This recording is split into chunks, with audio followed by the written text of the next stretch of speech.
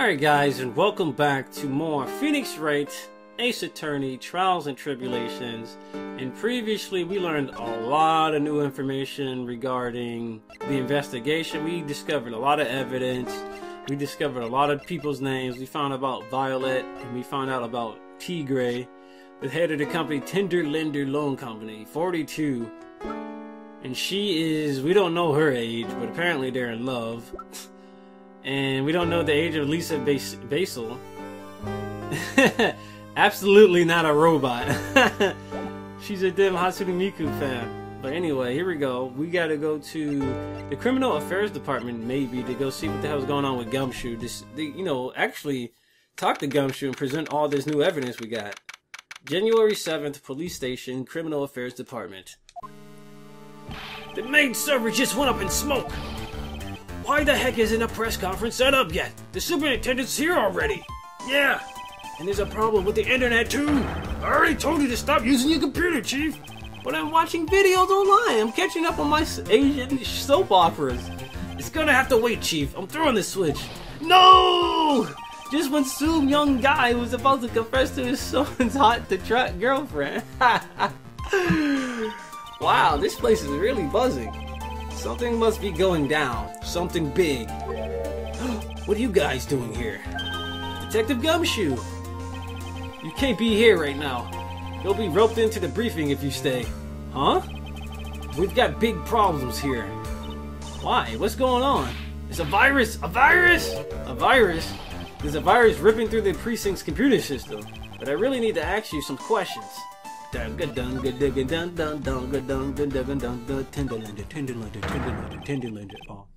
Okay, I'm gonna say this once, so listen up. Yes, no matter how poor you get, never borrow money from a place like this, you hear? Um, okay. If you got money trouble, just go on a diet of instant noodles and hang in there. We're not talking, we're not thinking about borrowing money, detective. We want information. Oh, is that all? Well, let's see. Tenderlender is considered to be even fishier than the average illegal loan shark. Even fishier than the average illegal loan shark. And it seems it ran into trouble just recently. Those guys have been pretty heavy-handed calling it in all their depths. Really? Really? Don't go poking your nose around in their business, pal. You'll really regret it if you if you upset that lady. Alright, I get the picture. Hey, wait a minute. What did he just say? That lady? He must have been there recently. Who's this lady he's talking about? You better find out what the story is with this lady. Computer viruses. So what exactly is a computer virus, Detective Gumshoe? I don't know. What? Look, I just go with the flow, right? And here I thought detectives were supposed to be somewhat knowledgeable. What's with that face, pal? You think you know what a virus is? Yeah, Nick, do you? A computer virus? Sure. I mean, only in simple terms, of course. Really? Wow, you know everything, Professor Nick. Yeah, I'm gonna call you Dr. Wright right now. that sounds cool. Don't you agree, Dr. Wright? Why do I get the feeling they're making fun of me? Okay, fine. I'm no expert, but I can at least explain the basics of basics to you two. What's a virus? I'll let you know. A virus is a program that gets inside a computer and causes damage. Damage? You mean it makes the machine go boom and explode? No, the damage is, um, well, it's all internal. So the insides go boom. Imagine all the case data you've stored on your PC here in your station. A virus could wipe out all that. That's the kind of damage I'm talking about. Whoa, that's scary, yeah. And what's even more scary is that viruses are infectious. Infectious? Most computers are connected together on a network, right? Virus can move from one machine to another over the network, so the virus just keeps spreading faster and faster. Just like a real virus. But Nick, why would anyone want to make a program like that? Yeah, it, it takes ages to type in all that data. Why would you want to destroy it, pal? People don't affect their own machines. They they send the virus to someone else's. That's horrible. Oh, I get it. It's like you sneezing on Godot so he catches a cold. Right. Then he wouldn't be able to turn up in court because he'd be too sick. You really shouldn't do stuff like that, Nick. It's wrong. Who? What? Where? When? And why did the conversation jump to me? Anyway, that's what a computer virus is. A bad program that causes damage. And all the different viruses have names, right? I kind of feel like I've heard the name of the virus we've caught somewhere before. The name of the virus? MC Bomber, I'm guessing. I feel like I've heard of it before too.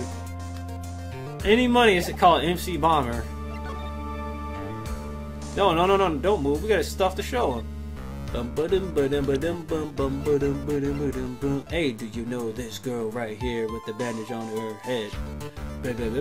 She works for Tinderlander, Tinderlander, Tinderlander. Tinderlander, Tinderlander,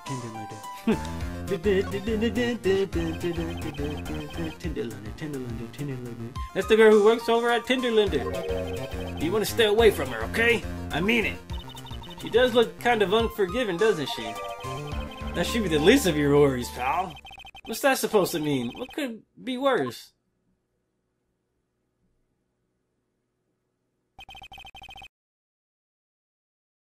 Whoa, that's the name on that damn bill, that repair bill. Her name's Viola. She's the only grandfather to Bruto. Verini. Cadaverini. Do you know who that is, Nick? Cadaverini. The Verinis. Never heard of them. Brutal Verini is the boss of the Verini family. Damn. The Verini. That's one scary sounding name. We can't touch them. They're way too powerful for the police. But you're thinking of taking them on, aren't you? No, I don't remember ever saying I was going to. I better get some info out of Gumshoe about this family. So, here's what I'm thinking. Mr. Tiger got an accident with this girl, Violet. He was driving, I guess they were driving in the same car. He got in an accident. That's why he's riding a scooter now, not his damn car. Cadaverinis. I'm not sure if I really want to get involved in this, but who are the Cadaverinis? Who are they? A scary bunch of people, that's who. You're a cop and you're scared? What's that about? Trust me, it doesn't matter if you're a cop or a kid, these guys are scary. They've got some serious clout in the criminal underworld. We can't even touch them. They've got too much moolah. Moolah? As in, they pretty much control all the cash on the city's black market. Damn. The black market, huh? And that includes Tinderlander, I take it? Sure, no one stands up to Bruto Cadaverini, and I mean no one. Interesting. So your boy Tigre might be scared of him. So Viola's the granddaughter of some mafia boss then. And everyone knows how much Bruto loves his little girl. She means everything to him. So how did she end up at Tinderlander? I don't know, pal. But I heard she and the boss of the Tinderlander are pretty tight. Tight? That's what it said in the file I read related to Maggey's case. Sounds like a pretty important clue. Maybe we gotta present something else to him.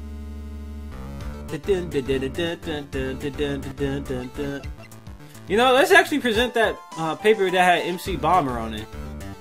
Is this the one? Or is this the one? Hey, this is the one. Let's present this. No, no, no, screw that! Better yet, let's give him the CD if we can. MC Bomber. Detective Gumshoe, um, about this. What? I'm trying to concentrate on Maggey and the virus right now, so I. Oh! This is it! That stupid name, I remember it now! I thought so. Here it comes. Don't ju- don't just nod to yourself and keep me in the dark, Nick. What's going on? It's okay, Maya. You don't have to cry about it. the name scribbled on that sports paper written on that CD. That's the name of the virus. MC Bomber. What? Yeah, the virus that's just infected every computer in the station. It's MC Bomber. Can you give us any more details, please? Oh, digga, digga, do, digga, digga, digga, do, dooda, dooga, doos, dooga, dooga, do. we already knew about the MC Bomber virus from a while back. A group of criminals issued a series of demands to the head honchos of law enforcement. They threatened to release the virus if their demands weren't met. Who are they? I don't know. Some hot shots from the criminal underworld would be my guess. And now the virus has been released, huh? Yeah. It's in every computer in every pub uh, public office in the city. Everyone's going nuts. The hope are hopping around like they're dancing at a carnival. All this stuff with criminals and viruses, it almost feels like we're in a sci-fi movie. Apparently, the programmer who made the virus was a real genius. The focus right now is on the tracing, is on tracing the route of the virus on the black market. You mean someone put this virus up for sale? Yep. And because this one's so powerful, they're estimating its price tag was in the millions of dollars. In the millions, a virus can be worth that much. Huh. This is what I'm thinking now. Glenn Elg. Glenn made the damn MC Bomber virus to pretty much to get himself out of debt or whatever. Because he needed the money, right? He needed the money, so he made the MC Bomber. The thing is, he was going to meet with LT Gray, right? He was going to meet with LT Gray, whatever his damn name is, while he was waiting there with MC Bomber. And the thing is, he was like listening to the radio, and then he realized he won half a million dollars. He's like, oh shit, I don't need to give you this MC Bomber now. I don't need to give this shit to you. I ain't about to become a criminal.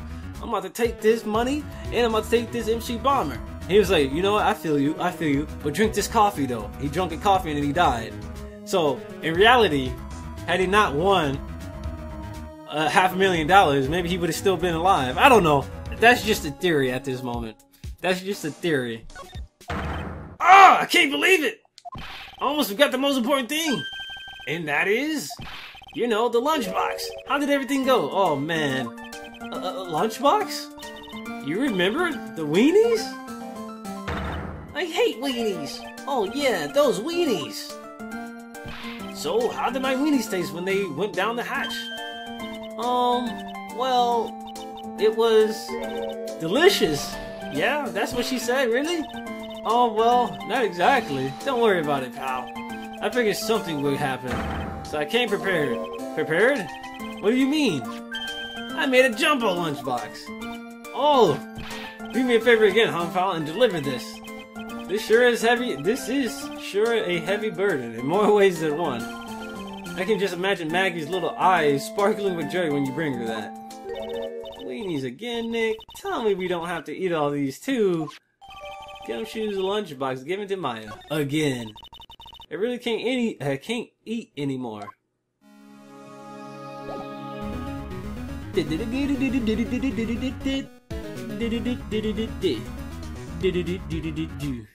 So, we might at this moment actually have enough information to go break those psyche locks. But I think the first thing I want to do is actually go back to the detention center and give her this food. And she's not even at the detention center. Wow. I'm kind of salty. So what we're going to do is see if we can go break those psyche locks off of uh, Hatsune Miku. No, we just came back from here.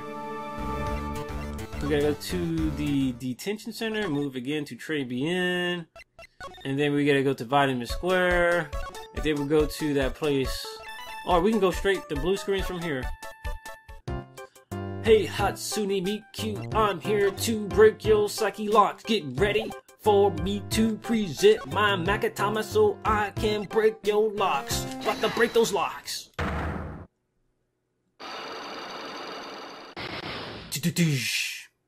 Glenn's trouble. So how about you tell me what kind of trouble Mr. Elg was in? I'm sorry, but we don't deal with the troubleshooting here. Something to do with this ticket right here? Take that! We already did this like two episodes ago, so I'm gonna be skipping through a lot of this dialogue, like the first three presentations or first three things we did. It was the horse racing tickets. Take that! Take that! Take it! Take it! You sweating now, girl. You sweating. Yep, yep, yep. But if you win, there's no problem, is there? And Glenn had a winning ticket for half a million dollars. But it's hard to imagine how he could have been in trouble. Blah blah blah. It's true.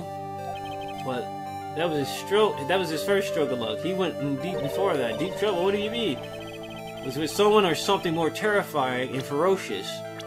El Tigre. Furio Tigre. The boss of a loan office called Tender Lender. Tender Lender? People with businesses should think harder before naming their offices. Like you're one to talk. Well, Blue Screens Inc. well, what do you think? Our firm is doing very well at the moment. I don't think we need to borrow money. No, no, no. I mean about Mr. Elg.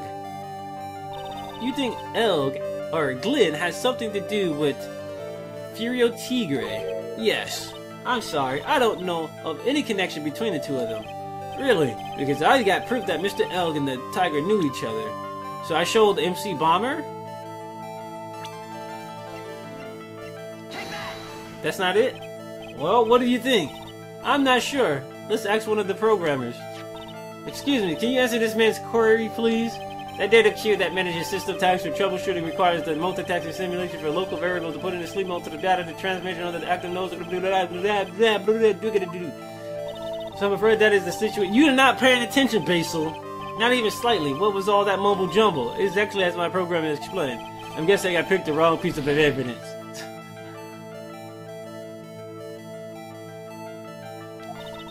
Glenn had a lot of friends, Mr. Wright. You think Glenn has something to do with... Yes, the MC Bomber, yo! Really, because I have proof... Oh, the calendar, maybe. The meet with the tiger. There we go. Yeah, I overlooked that. Furio Tigre, aka the Tiger, is the boss of a loan office called Tender Lender. This is who Mr. Elg met with the with on the day of his murder. And the only thing a loan shark would talk with him about would be his debt. No! No! It's true that Glenn had racked up some. Uh, he racked up quite a bit of that debt from his gambling habit. About a hundred thousand dollars, I think. A hundred thousand dollars? God dang! But I heard he won the lottery, so he should have been in the clear. Shane Maggey couldn't get a bit of that good luck. Oh, okay. So the guy got lucky and won the lottery, but what if he hadn't won? What was his plan then? Yup. Well, this isn't easy to say, but he said he would use his talents to repay the money. His talents? I suspect he was talking about programming. What computer program is worth a $100,000? Perhaps you good people should leave so I can get back to my work. I'm so close to cracking her. The program in question, was it by any chance this? MC Bomber! MC Bomb Bomb Bomber. This is the virus that's infecting computers worldwide as we speak. MC Bomber. No! oh no! Oh yeah. We'll return to more Phoenix Wright Ace Attorney Trials and Tribulations next time.